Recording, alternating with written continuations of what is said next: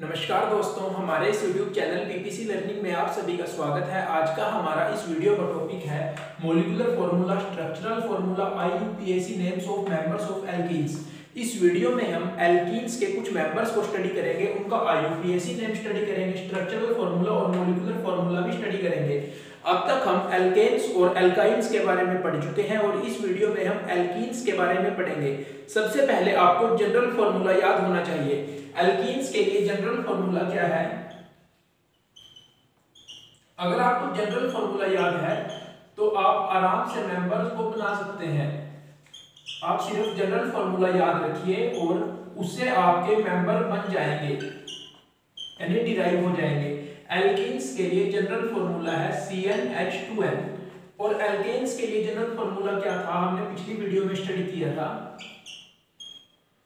CnH2n plus two alkynes के लिए general formula था।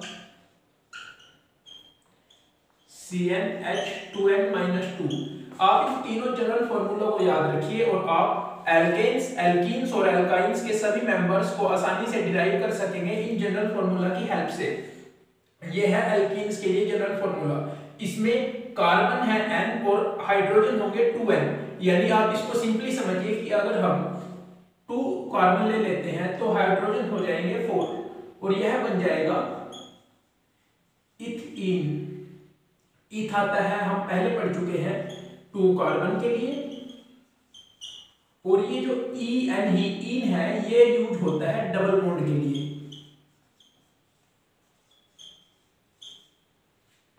अगर हम यहाँ पे एन की जगह थ्री लिख देते हैं तो सी थ्री हो गया और एच टू थ्री या सिक्स ये बन जाएगा प्रोपीन ये हम पहले स्टडी कर चुके हैं कि प्रोप आता है तीन कार्बन के लिए। और इन आता है डबल बॉन्ड के लिए। आप मेन क्या करिए, आप मेन सिर्फ़ जनरल फॉर्मूला को याद रखिए। अगर हम एल्केन्स का एग्जांपल लें, जिसका जनरल फॉर्मूला है CnH2n+2 और यहाँ पे कार्बन n की जगह हम रख दें 2 तो एच आ जाएँगे सिक्स क्योंकि 2 2 जा फोर प्लस 2 6 तो ये क्या बन जाएगा? हम पहले पढ़ चुके हैं, ये मैं समझाने के लिए दिखा रहा हूँ, ये बन जाएगा इथेन इथ दो कार्बन के लिए। और एन आता है सिंगल बॉन्ड के लिए। जहाँ कार्बन कार्बन के बीच सिंगल बॉन्ड प्रेजेंट होते हैं, उसके लिए यूज़ होता है एन अब ये समझ लीजिए एन होता है सिंगल बॉन्ड के लिए। इन होता है डबल बॉन्ड के लिए। ये जो इन है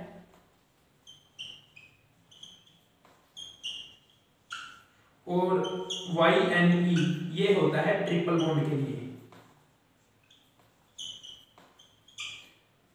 तो यहाँ तक हमने कुछ बेसिक स्टडी किया। अब हम कुछ मेंबर्स को प्रॉपर स्टडी करेंगे। चलिए शुरू करते हैं। तो पहले हम दोबारा से जनरल फॉर्मूला लिख लेते हैं। ताकि आपको इजीली समझ आ जाए कि कैसे मेंबर्स को हम जनरल फॉर्मूला की मदद से बना सकते हैं। तो इथीन के लिए जनरल फॉर्मूला है CnH2n सी कार्बन एच हाइड्रोजन तो अब आप देखिए, अगर हम एम की जगह टू रख देते हैं तो एच आएगा फोर क्योंकि टू टू जा फोर तो ये होता है इथीन इन होता है डबल बॉन्ड के लिए, ये हम पढ़ चुके हैं. मैं आपको दोबारा इसलिए बता रहा हूँ क्योंकि ये इंपॉर्टेंट है इन डबल बॉन्ड के लिए एन सिंगल बॉन्ड के लिए और Y N E I triple bond के लिए और इथ टू कार्बन के लिए कुछ होता है. तो इसको हम कैसे स्ट्रक्चरल फॉर्मूला इसका बना सकते हैं? आप दो कार्बन को जोड़ दीजिए पहले डबल बॉन्ड से, और अब, आप एक चीज़ देखिए, हर एक कार्बन चार बॉन्ड बना सकता है। लेकिन यहाँ पे इस कार्बन ने भी दो बॉन्ड बनाए हैं और इस कार्बन ने भी। और अब हमारे पास चार हाइड्रोजन बचते हैं तो हम ऐसे जोड़ देंगे हाइड्रोजन को। तो अब आप काउंट कीजिए, इस कार्बन के भी चार बॉन्ड कंप्लीट है और इस कार्बन के भी चार बॉन्ड कंप्लीट है। क्योंकि इस कार्बन के चार बॉन्ड किस तरह से कंप्लीट है? इसने डबल बॉन्ड यहाँ पे बना है इसका और दो हाइड्रोजन इसके साथ जुड़े हुए हैं। अब अगर हम इसी तरह से कार्बन कर देते हैं थ्री तो हाइड्रोजन हो जाएँगे सिक्स क्योंकि टू थ्री या सिक्स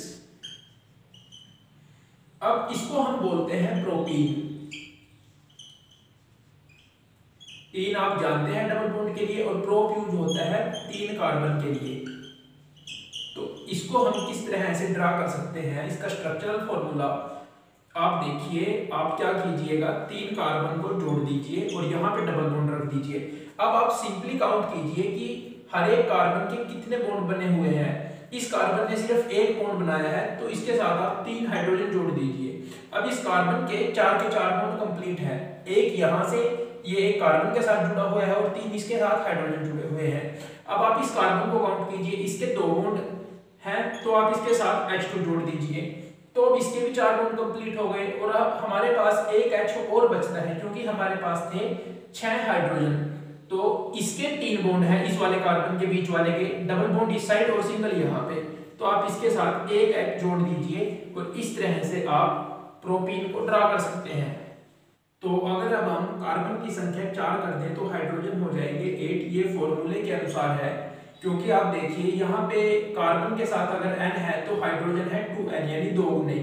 तो इसको हम बोलते हैं ब्यूटीन इन आप जानते ही हैं डबल बॉन्ड के लिए और ब्यूट होता है, जहाँ पे फोर कार्बन होते हैं। तो आप इसको देखिए। अब हम इसको किस तरह से ड्रा कर सकते हैं, इसके स्ट्रक्चरल फॉर्मूला के लिए आप चार कार्बन को जोड़ दीजिए और यहाँ पे डबल बॉन्ड बना दीजिए। अब आप काउंट कीजिए कि किस कार्बन के कितने बॉन्ड कंप्लीट है और हर एक कार्बन चार बॉन्ड बनाता है, ये आप जानते ही हैं तो उसके चार बॉन्ड कंप्लीट कर दीजिए। आप इसके साथ H3 यहाँ पे जोड़ सकते हैं, या फिर आप इसको H3 को नहीं लिखने की बजाय आप ऐसे भी दिखा सकते हैं। और अब आप देखिए, इस कार्बन के भी दो ही बॉन्ड कंप्लीट हैं तो दो एच यहाँ पे जोड़ दीजिए। आपके पास आठ हाइड्रोजन है, और अब तक हमने यूज़ किए यहाँ पे पाँच।